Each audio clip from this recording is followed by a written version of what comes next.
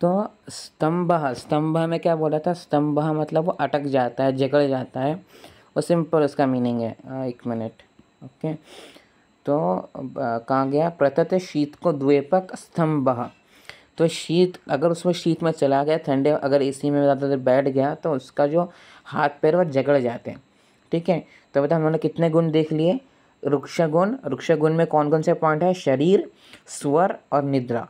फिर लघु गुण लघु गुण में क्या आया? गति आई चेष आहार विहार की। फिर चल देखा, चल में क्या आया? शरीर अव्यय, अनवस्थित रहते हैं वो। फिर बहु में उसके जो प्रलाप ज़्यादा करता है, बोलता ज़्यादा है और कंडरा, सिरा, प्रताना उसके दिखते हैं।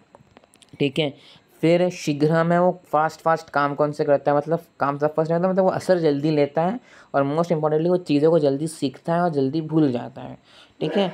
उसके बाद हमने देखा कि उसको शीत सहन नहीं होता और वो जल्दी स्तंभ हो जाता है। अभी अगला है परुष्यात। परुष्यात मतलब जैसे भी रुक्ष होता है रुक्ष के ऊपर वाला परुष, ज़्यादा रुक्षता तो उसका परुष केश, शमश्रु, रोम, नख, दशन, वदन पानी पाद ये सब उसका परुष रहता है। अभी अगेन प्रकृति परीक्षण के टेबल में ये सब अलग अलग पॉइंट बन गया केश, रोम, शमश्रु, एक पॉइंट नख, एक पॉइंट दशन, एक पॉइंट तो केश केश मतलब क्या? आपके सर के बाल। केश मतलब सिंपल, सर के बाल। ठीक है? इंग्लिश में बोलना है तो जो अपने हेयर से वो, ठीक है? केश, शमश्रु शमश्रु मतलब अपनी जो अभी दाढ़ी के बाल है, जो मूछ के बाल है, वो, शमश्रु। और रोम रोम मतलब बॉडी पे हेयर उसको रोम भी बोलते हैं, लोम भी बोलते हैं। तो केश, शमश्रु, रोम। उसके बाद नख नख मतलब नाखून। दशन दशन मतलब टीथ और वदन पानी पाद ठीक है? तो परुष्यात, परुष, केश, शमशु, रोम, नख, दशन, वदन पानी पाद तो जो परुष है, उसमें क्या होता है? केश शमश्रु रोम, नख मतलब सॉरी परुष गुण की वजह से केश शमश्रु रोम, नख, दशन, वदन पानी पाद ये सब परुष रहते हैं।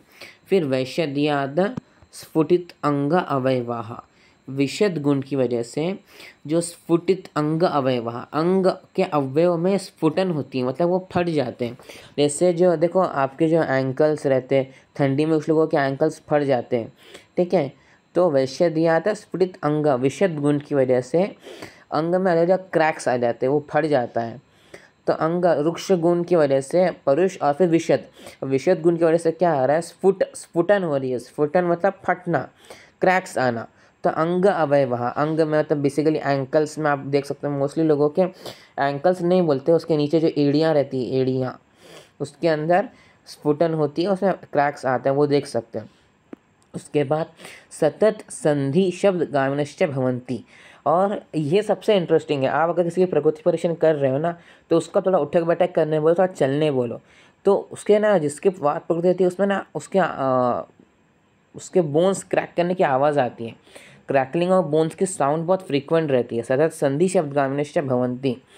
ठीक है?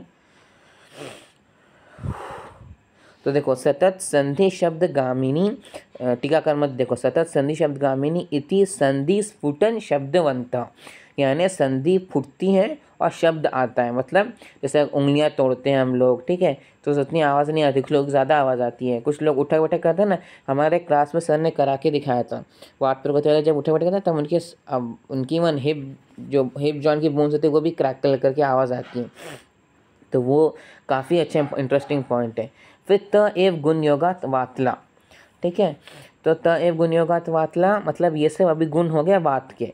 प्राय ना तो एक कंक्लूजन के फॉर्म में या मोस्टली प्रायना मतलब होता है मोस्टली प्राय, प्रायना अव्यय कैटेगरी में आता है संस्कृत में। इसका मीनिंग हमेशा फिक्स रहता है। मतलब जो मोस्टली ऐसा होता है अल्प बलाश्च अल्प बल रहता है, बल कम रहता है। अल्प बलाश्च अल्प आयुष्च। तो अभी देखो, बल कम है एनर्जी कम है तो आयु, ज़िंदगी भी कम रहती है। अल्प आपत्तिश्च मतलब जो संतान है, जो बच्चे हैं, जो ऑफस्प्रिंग्स हैं, वो भी कम होते हैं। अल्प साधनश्च जो साधन है, देखो साधन मतलब जो रिसोर्सेस है, जो कनेक्शंस है, वो कम, और अल्प धनाश्च जो धन है, जो पैसा है, वो भी कम।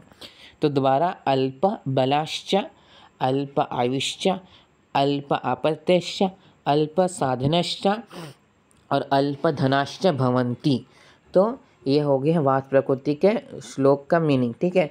अभी इसी इसी से आपका प्रकृति परीक्षण का टेबल बनता है। तो ध्यान से इसको एक बार पढ़ो, कुछ नहीं देखो जो नोट्स मेरे दूसरे चैनल पे मेन चैनल पे जो नोट्स है, प्रकृति सर्च करो प्रकृति नोट्स पढ़ो, कुछ डाउट रहेगा तो मेरे को टेलीग्राम पे पूछो मोस्टली और कुछ रहेगा तो बोलो, ठीक है? चलो ऑल द बेस्ट